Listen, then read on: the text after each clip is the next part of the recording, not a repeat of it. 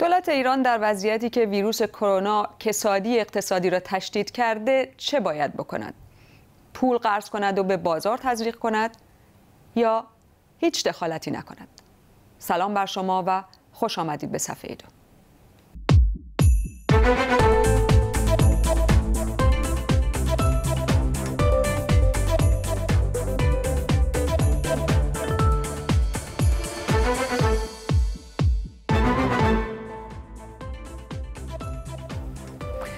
سازمان ها و نهادهای بین المللی درباره اوضاع اقتصادی جهان در پی جهانگیر شدن کرونا هشدار می دهند. اقتصاد ایران هم که خود به خود با تحریم ها وضعیت به سامانی نداشت حالا با کسادی بازار در شب عید در مهمترین روزهای سال برای کسب و کار بسیاری از کاسبان خود را با نگرانی جدی مواجه کرده. ممنوعیت برای سفرها و تصمیم بعضی استانها برای عدم پذیرش گردشگر برای جلوگیری از همهگیر شدن کرونا حالا رستوران ها، هتل ها و همه خدمات مربوط به توریسم در ایران را هم دچار رکودی مشابه کرده. مسئله عمده این است که کسی نمی‌داند این وضع تا کی ادامه مییابد. پیام هایی از مخاطبان به بی بی سی رسیده که از طلبکاران خصوصی و همینطور بانک ها خواستار مهلت بودند. بسیاری از شرکت ها دست به تعدیل نیرو زدند. رکود بازار بیش از همه به کارگران روزمزد و اقشار کم درآمد که درآمد باثباتی ندارند صدمه می‌زند. دولت در چنین وضعی باید چه کند؟ از نهادهای بین المللی وام بگیرد و به بازار تزریق کند. دخالت در بازار آیا الان لازم هست یا مسکن کوتاه مدتی است که می‌تواند عواقب سنگینی در پی داشته باشد؟ در برنامه امروز دو میهمان داریم. هر دو در استودیو علیرضا سلواتی از کارشناسان اقتصادی و همینطور فرهاد گوهردانی پژوهشگر توسعه اقتصاد سیاسی. خوش آمد بگم به هر دوی شما. آیا سلواتی نظر شما چیه؟ آیا دولت باید دخالت بکنه یا نه؟ اگه کوتاه بگید چون می‌خوام بلافاصله نظر آقای گوهردانی من با توجه به جمیع جهات و عمل کردی که سراغ دارم خیلی موافق نیستم که دولت و نهادهای حاکمیتی خیلی وارد مسائل جزئی اقتصاد بشه. آقای گوهردانی من معتقدم که این بحث کرونا شبیه زلزله است. و همچنان که در موقعیت زلزله ما دولت و کل نهادهای عمومی و مردم نهاد باید دخالت کنند و رسیدگی کنند به نیازمندان و کسایی که درگیر هستند نظر دخالت دولت و کل سیستم به صورت هماهنگ بسیار ضروری و آنی و فوری به چه شکل باید باشه این دخالت؟ این بحث یه سری ظرفیت هایی در اقتصاد ایران در طول چل سال اخیر شکل گرفته در جنگ و در در تقابل با بحران تحریم ها اون ظرفیت ها باید فعال بشه در حوزه بهداشت. کل بیمارستان ها اینا باید تجهیز بشه امکاناتی که ندارن. دولت و سپاه و ارتش و نهادهای عمومی دیگه مثل آستان قدس همه اینها یه سری امکانات بهداشتی و تمامندی های پزشکی دارن. اینا باید با هم هماهنگ این هماهنگی ها در سیل اخیر مثلا شده بود سپاه اقدام کرد. بنابراین من قائل نیستم که به صورت انفرادی دولت باید این کارو بکنه. بلکه دولت و سایر بخش‌ها با همدیگه باید این کارو بکنن. نهادهای حکومتی. نهادهای حکومتی. فقط من الان متوجه نشدم. ما در مورد دو موضوع مختلف صحبت می‌کنیم. یکی بسیج نیرو در بحث بهداشت و درمان به خاطر وضعیتی که الان هست. بله. یکی دیگه وضعیتی که کرونا در کل در مورد اقتصاد ایران ایجاد کرده. باید به نظر میاد که مقدار اینها رو با تفکیک این بحث عرضه و تقاضا ما باید هم تفکیک کنیم. در کوتاه مدت شما عرضه چون کل اقتصاد به تبع اقتصاد جهانی در اقتصاد یه انقباض صورت می‌گیره.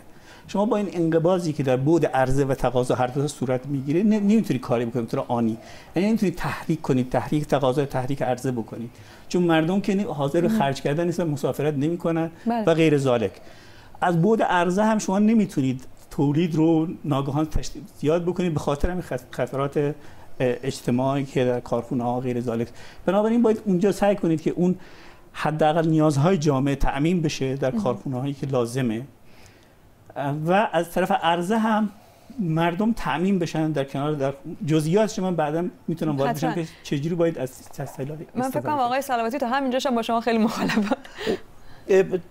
برای اینکه این این حرکت هایی که اتفاق افتاده مخصوصا در دولت دوم آقای روحانی ما رو به این میرسونه که در خلا صحبت نمی کنیم مسبوق به سابقه است دخالت دولت.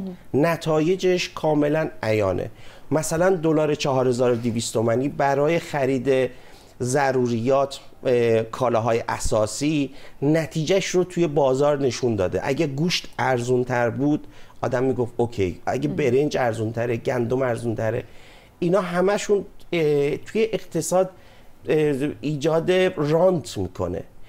دیگه نمیشه گفتش که شاید. یعنی حتی اگه بحث سعی و خطا هم باشه ما دیدیم که این دخالت ها از این قبیل کارها چقدر فساد ایجاد می‌کنه و چقدر مشکل ایجاد متوجه آقای صلواتی ولی بسیاری از کسانی که الان ابراز نگرانی می‌کنن میگن که وضع کنونی اقتصاد برای کارگران برای کاسبان خرد برای وضعیت مردمی که شغلای با سواد ندارن به شکلی در اومده که واقعا وضعیت اضطراری هست. همونطور که آقای گوهردانی هم بهش اشاره کردن. بنابراین دولت به اجبار باید دخالت بکنه مثل وضعیت زلزله مثل وضعیت سیل. شما مخالفین؟ نه من بحثم اینجاست که این نحوه دخالت باید به شکل حاکمیتی باشه. یعنی ولی اگه مثلا دولت پاشه بره خودش بشه قسمتی از حل مثلا داستان خودش رو تصور بکنه و تبدیل بشه به مشکلی دیگه مثل همین بحث دلار 4200 تومانی که 14 میلیارد دلار هر سال رانت 100 درصد برای ایجاد فساد توی کشور. این به شکل حاکمیتی که میگید میشه مقدار من فکر می‌کنم که ببینید عدد ما اون وقتی که بهمون میگن کارشناس اقتصادی باید در مورد اعداد تمرکز اصلی داشته باشیم. در مورد اعداد وقتی تمرکز پیدا می‌کنیم می‌بینیم که بودجه ای که دولت گذاشته برای مقابله با کرونا 500 میلیارد تومنه. و همینی که الان رفته برای رفته برای شورای نگهبان. بله مستقیم مستقیم, مستقیم. بدون بله با حکم حکومتی مجلس رو هم از حیز انتفاع ساقط کرده جناب آقای خامنه ای برای فقط حوزه علمیه قوم نزدیک به دو هزار میلیارد تومن مجموعش یعنی چهار برابر بودجه که برای مقابله با کرونا هستش اونجا پول هست. پس وقتی به اعداد نگاه می‌کنیم یا مثلا وقتی سردار سلیمانی ترور شد 200 میلیون دلار بهش به سپاه قدس فقط بودجه اختصاص دادن. الان که من دارم با شما صحبت می‌کنم وضعیت حساب صندوق ایران وضعیت خوبی هستش. هنوز هم اونجا اگر حساب کتاب سرانگشتی داشته باشیم چیزی در حدود 50 60 میلیارد دلار اونجا پول هستش. اگه از اونجا مستقیما بیان برای حل برای مثلا اختصاص دادن طلب بانک ها خب که اونا رو بخوان حداقل رفع بکنن اون موقع توی اقتصاد خورد اونی که شما میفرمایید مثلا توی بازار و اینا اون موقع اونا می‌تونن راحتتر به بانک ها رجوع بکنن و بدون اینکه خلق نقدینگی بشه. یعنی اگه پول چاپ بکنه و بده به بانک ها بانک ها وام بدن برای اینکه مثلا بدهی ها بشه چک کرد یا مثلا یه استحمالی اونجا بخوان اختصاص بدن که یکم مهلت خریده بشه خب این بازم به مشکلات دامن خواهد زد. من قائلم که اولا بودجه مستقیم دولت خیلی اینجا شاخص خوبی نیست برای ارزیابی. چون همونجوری که من گفتم کل نهادهای حکومتی از جمله سپاه مثلا سپاه بیمارستان های صحرایی داره تأسیس می‌کنه. اینا مستقل از بودجه دولته یا سایر ارگان ها و نهادهای دیگه که دستن در کار هستند بنابراین این بحث این بحث هم گام به گام با توجه به نیازهای جامعه این دولت و سایر ارگان ها همچین عزمی می‌بینید؟ مثلا عزمی می‌بینید در آستان قدس رضوی با همه ثروتی که داره که بیاد وارد یک همچین داستانهایی بشه و چنین من اقداماتی من احساس می‌کنم که الان این احساس شکل گرفته در کل جامعه که این نیاز هست نه تنها نهادهای حکومت بلکه مردم هم نهادهای خیریه و کمک های خیریه. یعنی کل جامعه به یه نوع داره به سمت انسجامی حرکت می‌کنه که شاید کم سابقه بوده و در مورد سیل ما دیدیم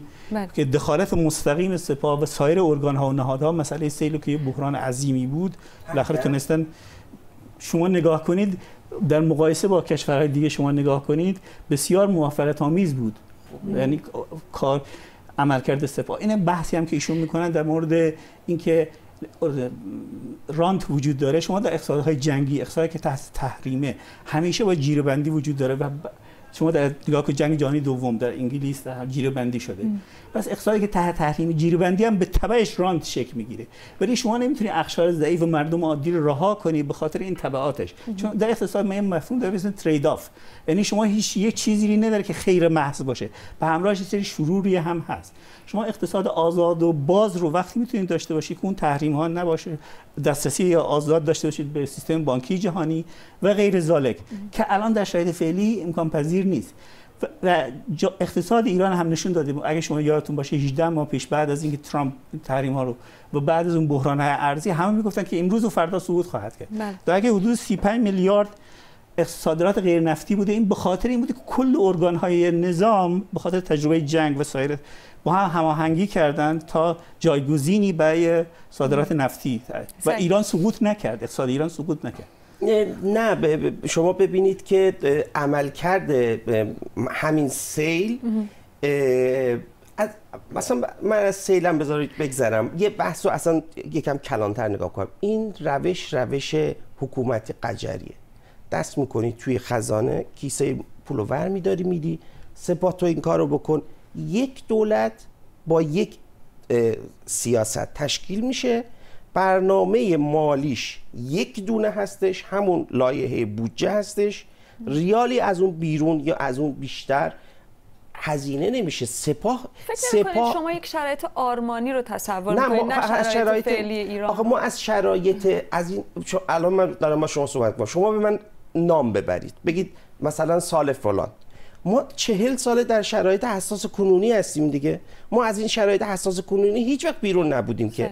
و همش هم کارهای خلق و سائه عجیب و غریبی که در میگم دنیا هم تجربه شده. اگه تجربه شده شکست خورده. تجربه های موفق گذاشتیم کنار. متوجه شدم. شما در صحبتی که کردید گفتید که بیان به جای اینکه پول رو تزریق کنن به بازار در واقع به صورت سوری به بانک ها یک بودجه اختصاص بدن که اونها فعلا از طلب هاشون از افراد فعلا گذر بکنن تا بتونن یه مهلتی بخرن. بحث من این هستش که خب این برای کسایی که به هر حال با بانک و اینا سر کار دارن یک تعداد زیادی از افراد هستن با ش...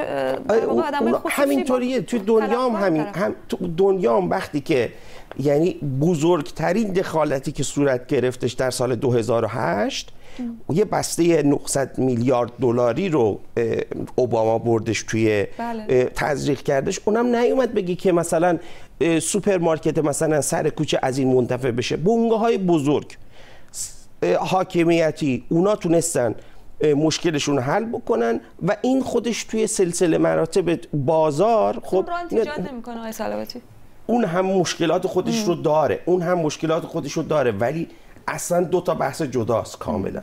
شما با ارگان های بزرگتر مشکل رو حل بکنید با بونگاه های بزرگتر بخواید مسئله رو حل بکنید یا بیاید برید مثلا بچه کوچه و خیابون چون عملکرد مشخصه. الان مثلا میفرمایند دیگه الان من بگن که ارز 4200 تومانی از گوشت که برداشته شد قیمتش در بازار چقدر تاثیر کرد؟ کجا رفت اون پولی که به ارز گوشت 4200 باش وارد کردن؟ مشکلی که هست شما اون بحثی که می‌کنید که در سطح کلان فقط در سطح بانک ها دخالت صورت بگیره که بحران هایی که منجر به ظهور ترامپ و شکست کلا لیبرالیزم و سوسیالیسم قبلا شکست لیبرالیسم شکست و ظهور نئوفاشیسم رو ما بینیم در سطح دنیا در هند در برزیل در ترامپ در امریکا به خاطر همین شکست پروژه لیبرالیزمی که فقط در رأس هرم رو می‌بینه بلکه اون سطوح و لایه های پایین رو اخشار ضعیف رو نمی‌بینه. به خاطر همین عوایدش درسته که کل اقتصاد سقوط نمی‌کنه ولی عوایدش فقط به یک درصد جامعه و 99 درصد بهرهمند نمیشه. بعد نهایتا میرن به سمت ترامپ و به سمت سیستم های توتالیتر و شبه توتالیتر حرکت می‌کنه. بنابراین بحث اساسی من اینه که در ایران شما از کمیته امداد از بهزیستی از اینا با استفاده کنید. از آنلاین الان مثلا شما آنلاین اپلیکیشن های گذاشتن که کسایی که کرونا رو بله. ساینش رو دارن بذارن اونجا که تشخیص بدن و بعد بهشون نیرو بفرستن که اینا رو تست کنن. همین کار رو در کسایی که الان مثلا دو میلیون ما زنانی داریم که در اقتصاد زیرزمینی اقتصاد غیر رسمی دارن کار می‌کنن. خب اینا الان به شدت صدمه می‌بینن. اینها رو با یه همین اپلیکیشن های بزنن. کسایی که نیازمندند به کمیته امداد به بهزیستی مراجعه کنن و در کوتاه مدت سری کمک های تا سه ماهه براشون بذارن بله. که اینا بتونن نیازهای آنی روزمرهشون تامین دیگه که اینجا پیش میاد که واقعا چقدر طول می‌کشه. الان در کل دنیا این مسئله است که کسی نمی‌دونه تا زمانی که حالا واکسن این کرونا پیدا بشه یا به هر حال یه راه حلی پیدا بشه وضعیت ممکن هست همینطوری ماها ادامه پیدا بکنه. تا کی؟ دقیقا این قابل پیش بینی نیست. مسئله اینه که به نظر میاد اگه فصل گرما برسه به نظر چون الان ما می‌بینیم در برزیل در استرالیا که نیم کره جنوبی هستن گرم هستن مشکل کرونا رو حداقل ما نمیشنویم. درست عواید اقتصادیش در اقتصاد استرالیا به شدت تحت تاثیر اقتصاد چین هست. بله. اونجا تحت تاثیر قرار گرفته. ولی اونجا ما شیوع کرونا رو نمی‌بینیم خاطر. مسئله گرما. بنابراین به نظر میاد متخصصین هم همین میگن که در ظرف سه ماه آینده اواخر بهار دیگه باید مسئله و اون موقع ما بنابراین کجا هستیم؟ وقتی که سه ماه آینده وضعیت چطور می‌بینید؟ همین نکته همینه که ما باید یه سری سیاست هایی داشته باشیم. این وضعیت انقباضی رو چون ما نمی‌تونیم عرضه رو نه تقاضا رو نمیشه تحریک کرد یعنی سیاست کنزی و اینا نمی‌تونید. یعنی مردم رو نمی‌تونید برید خرید وادار کنید پول بهشون بدید و برید خرید کنن یعنی تزریق به بازار اینا معنا نداره. اقتصاد ایران در ظرف 40 سال اخیر در مقاطع مختلف همیشه دچار تورم رکودی بوده. بله. اونم به خاطر بحران هایی که من فکر می‌کنم نه مختص جمهوری اسلامی نیست. ما چهار نوع بحران در ایران داریم. یه بحران توسعه است بحران رشد بحران مشروعیت و بحران معیشت. اینا با هم مثل یک دایره با هم لینک دارن با هم دیگه. یعنی ظهور یکی به ظهور دیگری موجه ما الان با بحران معیشت و بحران بقا ما مواجه هستیم. که در دوره اواخر دوره شاه هم بود به خاطر تورم شدید ناشی از رونق. خب در دوره مصدق هم بود به خاطر تحریم ها. من نمی‌خوام. بعد جهانی رو باید ببینید بعد تاریخی رو هم ببینید. به نظر من بسیار مهمه که این بحران ها و مسائل جامعه ایران مختص جمهوری اسلامی نیست. مختص 200 سال اخیر جامعه ایران و رابطه ما با کل جامعه جهانی با روسیه و با غرب. برای ایران علی رغم همه اون بحثی که بود که نمی‌تونه نفت بفروشه ترامپ امیدوار بود زمین بخوره ولی نخورده هنوز. نه این که حجم اتکا به فروش نفت در بودجه کم شده این یک امتیاز خوبی هستش. ولی من بازم برمیگردم به روش هایی که کاملا درسته. ببینید دو تا دیدگاه متفاوت داریم با آقای اینو گلدانی. متوجه شدم. ولی برای اینکه ایشون ایشون اساسا یه ب- حرف جدی می‌زنن. میگن که لیبرالیسم سقوط کرده. خب این چیزیه که قبول نداریم. بعد ایشون میفرمایند که ما همیشه در بله تورم رکودی بوده اقتصاد ایران.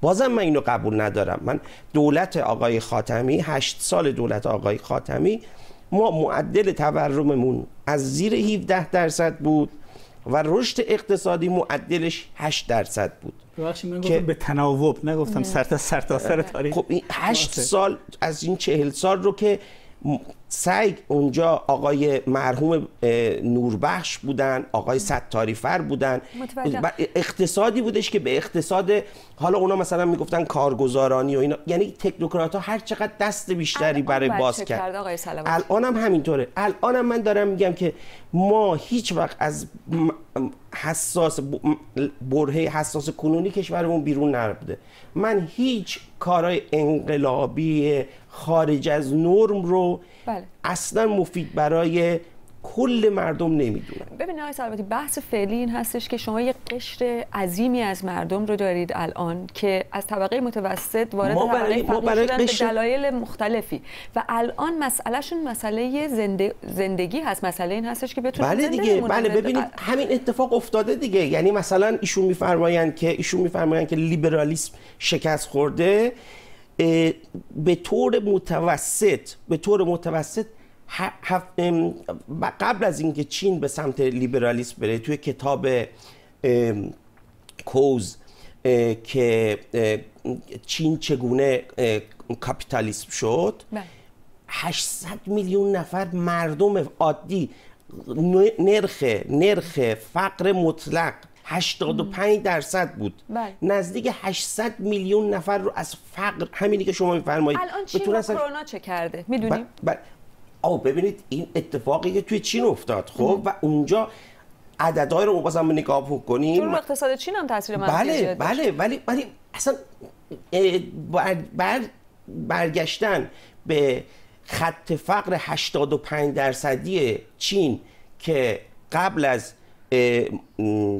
دنگ شاوپینگ بله این اتفاق بیفته بود. اصلا قابل تصور نیست. ضرر می‌کنه ولی کشورها در شرایطی که شرایط اینی که چین بله اینی که نه اینی که چین الان تونسته مثلا توی ده روز این امکانات رو ایران نداره که بله. اینی که توی ده روز تونسته بیمارستان کاملا تخصصی ایجاد بکنه و الان که دارم با شما صحبت می‌کنم همین تاریخی که الان دارم با شما صحبت می‌کنم چین تونسته کنترل بکنه کرونا رو. بله. این نیستش که حل کرده مسئله کرونا رو. ولی ایران ایران با وجود اینکه الان به شما عرض بکنم ایران با وجودی که کمترین مراودات رو با چین داره در مقایسه با کشورهای دیگه یعنی درسته که ما با چین چین شریک تجاری بزرگ ماست.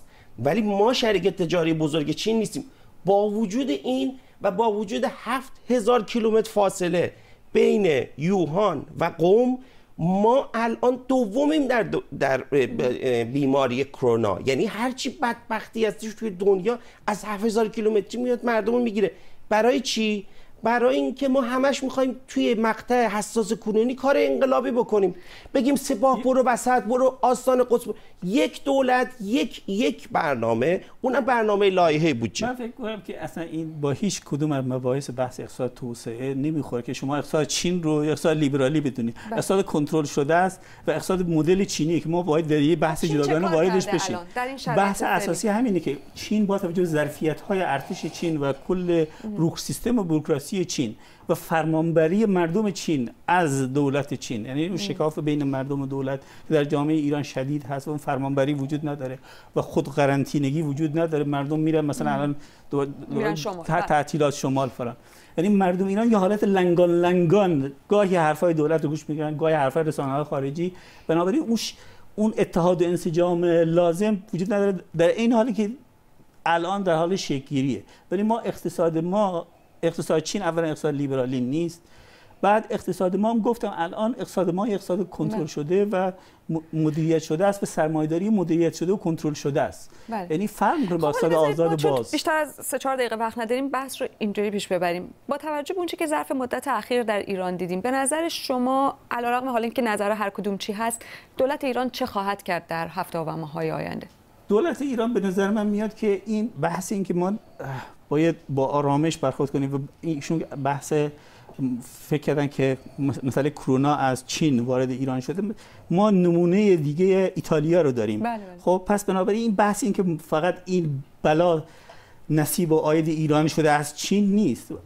ایتالیا در همه آغاز کار رابطش رو با چین قطع کرد پروازها رو. ولی اون به خاطر دوره کمونی داره کرونا اون دوره کمون خودش حتی کش نکرده بودن و پخش شد در کل اقتصاد جا. و الان کل اقتصاد ایتالیا زمینگیر شده. بله. پس بنابراین این بحث زمینگیر شدن مختص جامعه ایران و سیاست ایران یعنی نیست. شهروند ایرانی شهروند ایرانی با شهروند ایتالیایی الان به یک حد زمینگیر شدن و گرفتار نه، ما- شدن. نه ما به خاطر تحریم ها ب- الان آقای در رودسر نماینده رودسر میگه ما دستگاه اکسیژن نداریم سیتی اسکن نداریم. این اون چیزیه که در ایتالیا مشکل نداره. اگر هم داشته باشه از اقتصادهای بز- بزرگ بله. اقتصادهای بزرگ بله. شکاف این اون به نحو مضاعف مشکل ایران تشدید میشه و مردم ایران رنج و آسیب بیشتری می‌بینن تردیدی درش نیست. بله. ولی بحران بحران جهانیه. ما نیایم اینو جنجالیش بکنیم مختص جامعه ایرانش بکنیم بگیم این ناشی از بیکفایتی حکومت ایرانه. اون بیکفایتی ها به جای خودش هست.